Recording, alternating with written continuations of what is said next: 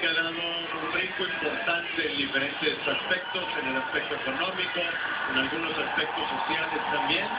Y está muy rezagado todavía en el tema. Y prepárense para ver una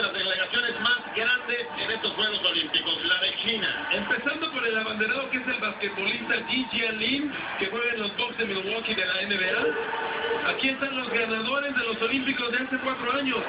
China le ganó al medallero a Estados Unidos, ganó más de 50 de oro. Bienvenidos, potencia, tienen donde quiera a sus clavadistas. Javier, China es tan dominante que hay deportes que son enclavados y las pesas femenil que ya se lo robó al mundo. El mundo va a competir por las platas y los bronces. Los oros son de ellos. En Beijing, por ejemplo, de las ocho pruebas de clavados, ganaron siete. Son una potencia.